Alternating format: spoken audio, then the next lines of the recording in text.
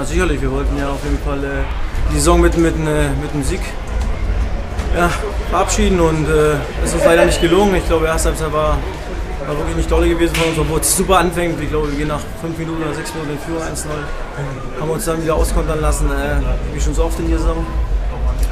Ja, zweite Halbzeit haben wir nochmal alles probiert. Tim macht noch 2-3. Mein Schuss noch auf der Linie mehr oder weniger gerettet. Dann wäre es vielleicht 3-3 gewesen. Aber ja, ist natürlich ärgerlich, aber jetzt können wir halt nichts mehr ändern.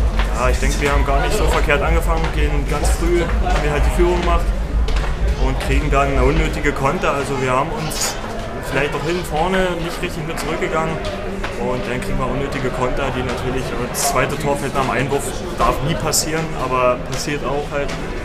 Und deswegen, ja, es war einfach schlecht gemacht hinten von uns und vorne vielleicht nicht die Konsequenz ausgestrahlt und so gehen wir hier mit 3-1 in die Kabine in der Halbzeit und können leider noch ein Tor nachlegen.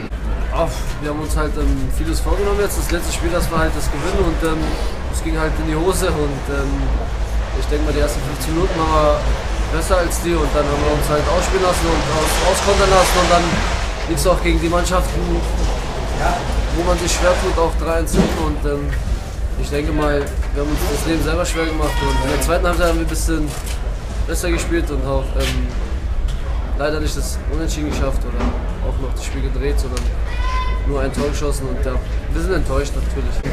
Irgendwie sind wir halt, ähm, haben wir zu viele Löcher gehabt und ähm, da haben sie halt gut reingespielt und halt halt gute Tore gemacht, kann man auch sagen. Und das ist halt eine U-Mannschaft und da tun wir uns immer schwer.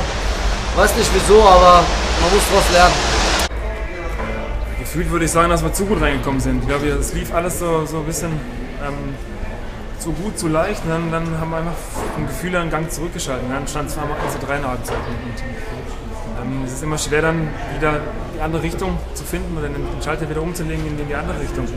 Das haben wir heute am eigenen Leib bitte erfahren. Zweiten Halbzeit haben wir nochmal versucht, was zu machen. Mit Glück spielt es noch 3-3, aber ähm, für mehr war noch nicht drin.